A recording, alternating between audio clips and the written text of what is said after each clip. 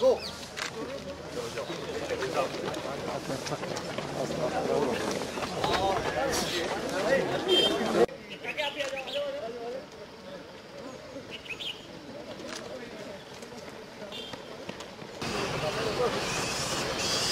جی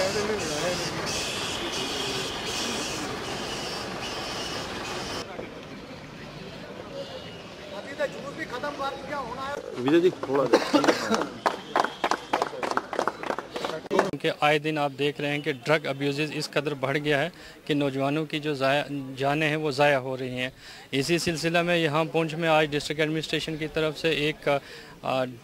rally ایک rally marathon race جو ہے، اس کا انعقاد کیا گیا، جس کا مقصد یہی تھا کہ لوگوں میں، عوام میں یہ بیداری پیدا کی جائے کہ ڈرگ کے مضر اثرات کیا ہیں، اثرات کیا ہیں اور کس طرح سے وہ نوجوان جو ہیں اس کے شگل میں پھنس رہے ہیں اور ان کو کس طرح سے اس سے باہر نکالا جا سکتا ہے۔ تو اس میں یہاں کے لوکل جو ہے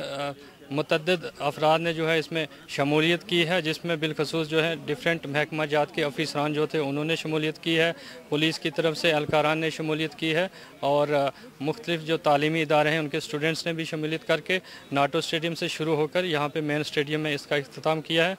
اور اس میں ایک میسج کنوے کیا جا رہا ہے کہ ڈرگ کے اگینسٹ جو ہے ہمیں کھڑے ہونے کی ضرورت ہے، اپنے نوجوان کو بچانے کی ضرورت ہے اور لوگوں میں جو بیداری ہے وہ پیدا کرنے کی ضرورت ہے۔